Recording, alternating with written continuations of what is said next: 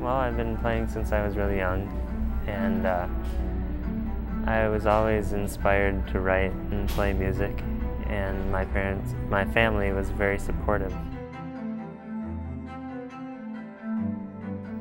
I was uh, trying to join a few bands, but I didn't have what they were looking for. So I started looking for jobs around downtown St. Paul and Minneapolis, and when things didn't uh, up, I knew that the recruiting station would be open.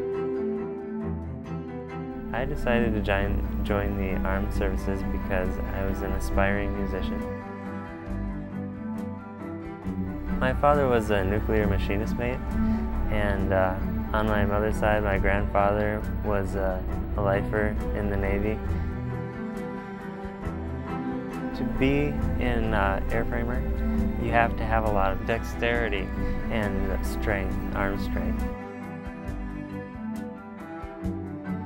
Like when you're stripping apart, they're hard to get out because it takes a, a certain amount of skill in reaching different positions and uh, using small tools.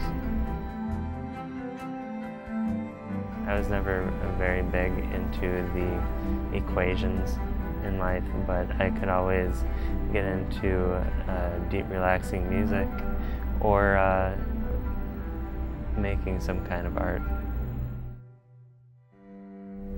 My name is AM3 Timothy Kruse. I'm from Anoka, Minnesota.